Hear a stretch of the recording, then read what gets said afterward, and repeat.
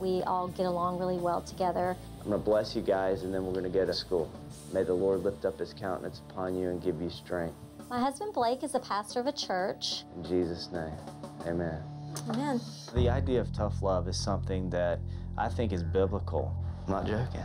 Okay. Okay? All right. Look at me. I'm passionate, I'm aggressive, and I just want to get there and make sure that my kids know that I'm in business. Okay, well, get on your homework. When I ask you to do something, do it. Boundaries are important for us. We have curfews, we have bedtimes. When dad says come up and do your homework, don't come up and start texting. Don't cross me, son. Yes, ma'am. We believe that the body is the temple of the Holy Spirit. There's definitely no drinking, no smoking. You will have consequences if you've missed reading. Honestly, I don't have any reservations about instilling discipline on these teens. If you want to do extra work, then don't have an attitude. When my dad gets mad, it's pretty bad. I don't try to get my dad mad much. Get your tail upstairs and wait for me there because I'm coming.